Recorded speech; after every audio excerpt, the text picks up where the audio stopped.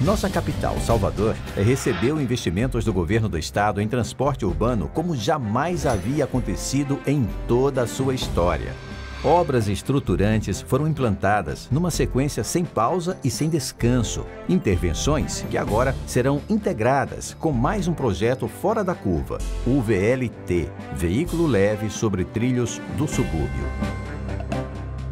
Só como referência da extensão e abrangência das intervenções, nos últimos anos, o governo do estado da Bahia vem gerenciando investimentos de mais de 12 bilhões de reais na melhoria do trânsito na capital e região metropolitana. Como obra emblemática de uma Bahia que toma rumo, entra em cena o metrô de Salvador, Obra esperada por 12 anos, só andou quando o governo do estado chamou para si a responsabilidade de realizar. De metrô, o governo do estado transportou Salvador para um novo tempo em mobilidade. Mas agora a cidade vai dar outro grande salto em sua estrutura de transporte público e logístico. Vem aí o VLT do tipo monotrilho elevado, para atender a uma região periférica de 22 bairros, com uma população de 600 mil habitantes. Interessante é que o projeto inclui integração com as demais soluções em metrô, sistemas de ônibus urbano e metropolitano, além de outros eixos do veículo sobre trilho. O VLT vem com a responsabilidade de substituir o trem de subúrbio, que já teve uma função importante, mas foi ultrapassado pelo tempo.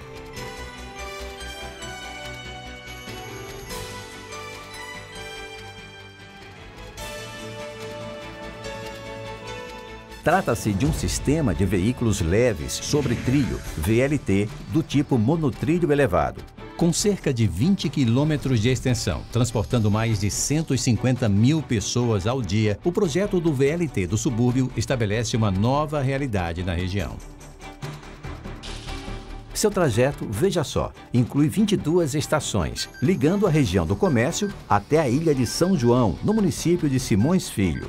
Passando por dois municípios, o VLT é considerado um modal metropolitano. Acompanhe. Partindo do comércio, ele passa pelas estações Terminal da França, Porto, São Joaquim, Calçada, Baixa do Fiscal, Santa Luzia, Viaduto Suburbana, Lobato, União, São João, Plataforma, São Brás, Itacaranha, Escada, Praia Grande, Periperi, Setúbal, Coutos, Paripe, São Luís e Ilha de São João. Simultaneamente, será feito um trecho complementar da região de São Joaquim até o acesso norte, somando mais quatro estações, sempre integrado ao metrô e à malha rodoviária de ônibus.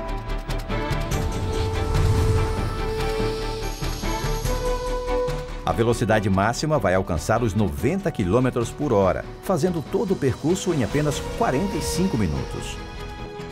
Com um investimento impressionante de mais de 1 bilhão e 500 milhões de reais, o projeto do VLT vai facilitar a vida de milhares de pessoas.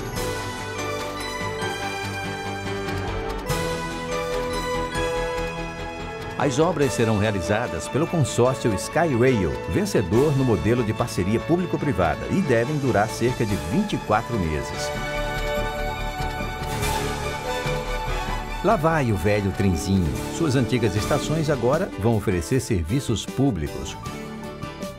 Lá vem o VLT, um projeto novo, moderno, eficiente, Ligeirinho assim, o governo trabalha e Salvador avança, entrando nos trilhos em mobilidade urbana, acelerando em qualidade de vida. E o trabalho não para. Governo do Estado, Bahia, aqui é trabalho.